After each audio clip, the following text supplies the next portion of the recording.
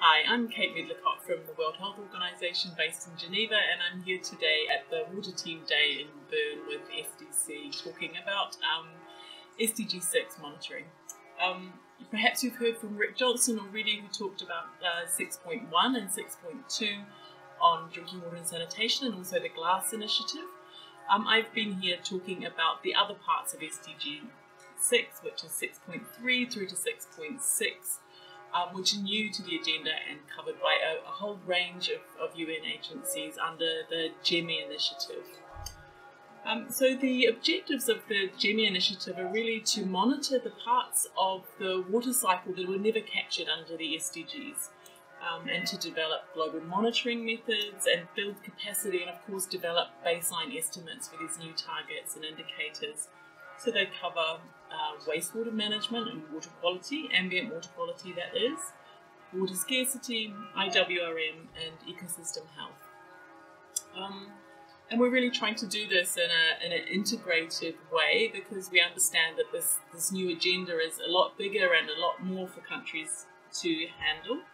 And um, we see that there's benefits of, of reporting in an integrated way um, in terms of uh, providing um, uh, making use of multiple data sources which can inform more than one indicator and also to uh, lead to more connected policy development.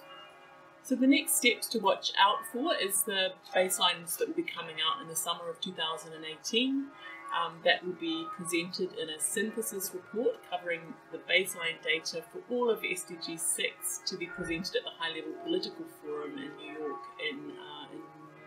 June of 2018. Um, and you know, it's, it's really important that we feed this monitoring data into these, these big processes, not just, just global processes, but also national processes, because the monitoring is really about um, providing data for good um, policy and investment decisions. And in my specific area of work, I would love to see that resulting in stronger uh, management and regulation of the sanitation and wastewater sector and the, the strengthening of, of, regulators at the country level. So um, watch this space. Um, we're at the beginning of an exciting 15 year period of the SDGs.